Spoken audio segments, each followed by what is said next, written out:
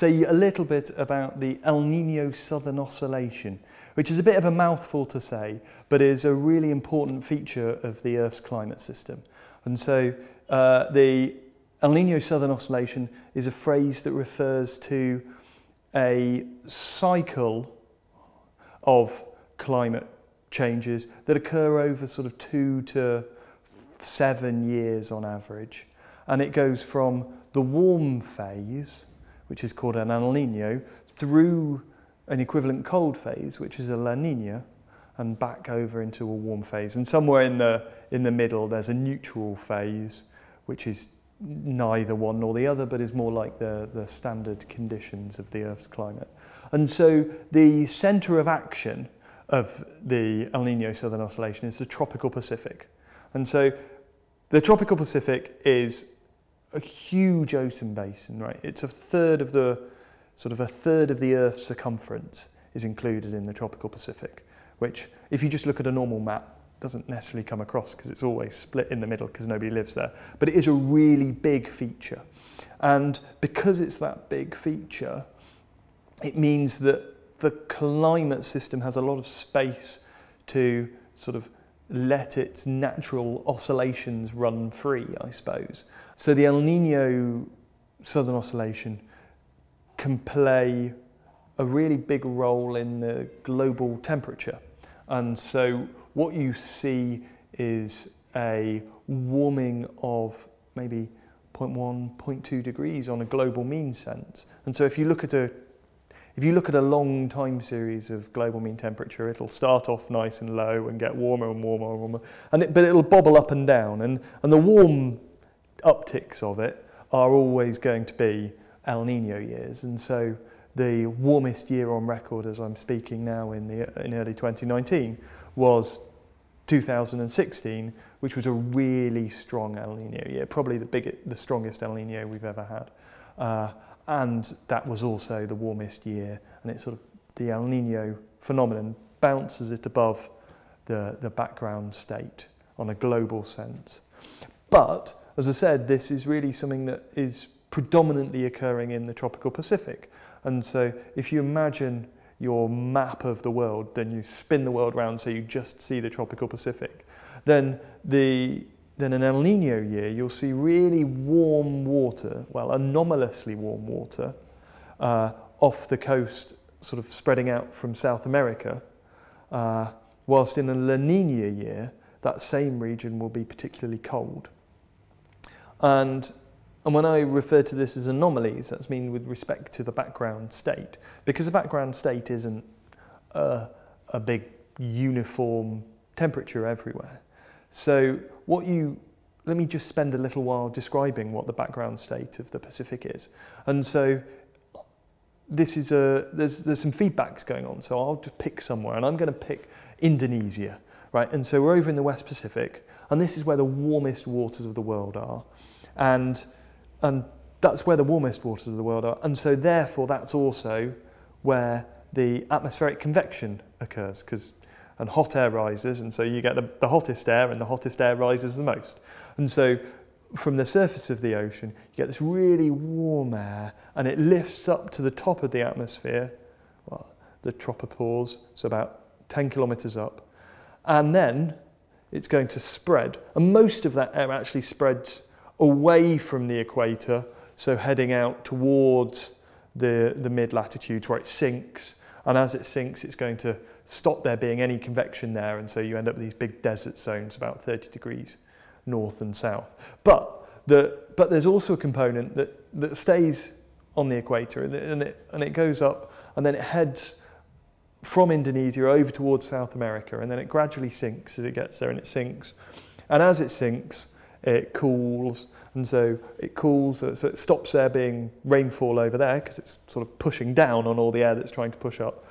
And then slowly there's a return flow in the atmosphere that, that heads back towards Indonesia. And it's that return flow that head back towards Indonesia that is going to act as a wind that's moving the Earth's, the ocean surface along. So you've got this atmospheric flow due to the, due to the warm waters in Indonesia, and then there's cold, and the cold waters over in, uh, over in off South America.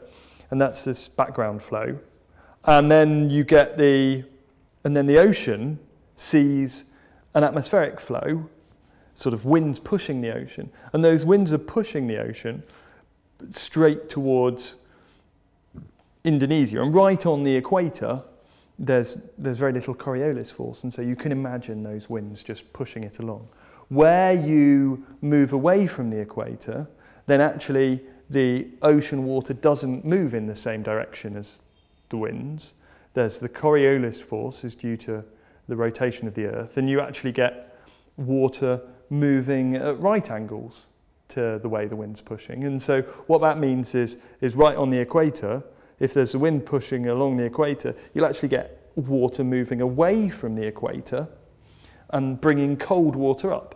And so you get this cold water being lifted to the surface, and, and that, that forms an oceanic flow with, that sustains the warm water and cold water that, that sort of sustain the atmospheric flow. So you get these two coupled systems, and they, and they feed back on each other to form the main background flow of the tropical Pacific, right? That's just the tropical Pacific in general.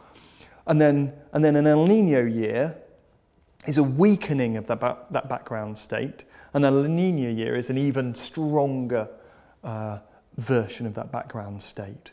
And, and because the sort of Indonesia is such a, an important part for where air is lifting up across the whole planet, you end up with changes in this circulation in the tropical Pacific having really global consequences. And so, say, in an El Nino year, you'll be having uh, drought uh, in Indonesia and floods in South America, but that'll spread out to Australia, will be impacted. Uh, East Africa is going to be impacted in an El Nino year. The actual, the reason that the phenomenon has such a mouthful of a name of the El Nino Southern Oscillation is actually because it was the Southern Oscillation is an atmospheric phenomenon that was discovered by Gilbert Walker, who was a meteorologist in India, and he was trying to explain what was causing, what was causing changes in the Indian monsoon, and he noticed this big change in the, in the circulation. And, and the El Nino part of the name comes from the oceanographers who completely separately were looking over in South America, not India, and, and discovered the sort of the warming uh, off the coast of the Americas that came uh, peaks in December, which is when uh, sort of around the time when Jesus was born, and so that's why it's called El Nino, is the story at least. And, it, and so there were these two completely separate phenomena, as they were thought. And it wasn't until sort of the 1960s when Bjerknes came along that really identified that these were part, these were two different parts of the same uh, climate phenomenon and that coupled atmosphere ocean feature. And, and sort of that realization came and people were interested in it as an academic topic.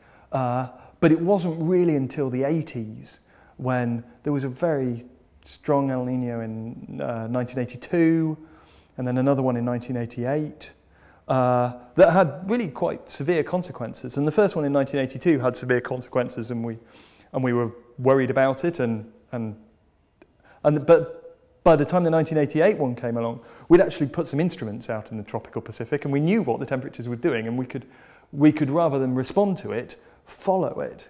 And that led to the development of numerical models that were sort of, I suppose, initially a hybrid between a weather model and a, and a what I now think of as a climate model, uh, which could actually provide some sort of forecasting ability for these, uh, these phenomenon. And now that's something that we've moved into in a really operational sense, is this seasonal forecasting. Because the system is really sensitive and so dependent on each other, it really responds to very small no variations in the noise. And it's most responsive in around in spring, in sort of March, April, May time. And so what that means is that we, we can know what the El Nino is by doing our numerical forecasting, but because it's so sensitive and we can't know what the, the noise is, what those individual storm systems in the region are going to do. It, it really prevents us to, from forecasting much beyond, say, nine months, uh, 12 months through that, forecasting through that spring predictability barrier. But, it, but we do have really pretty good operational forecasts now, and they're, they're, you should be thinking of them as probabilistic because it's on these long timescales. But still, we're able to provide enough of an early warning that maybe people will not be surprised and will be able to respond to it.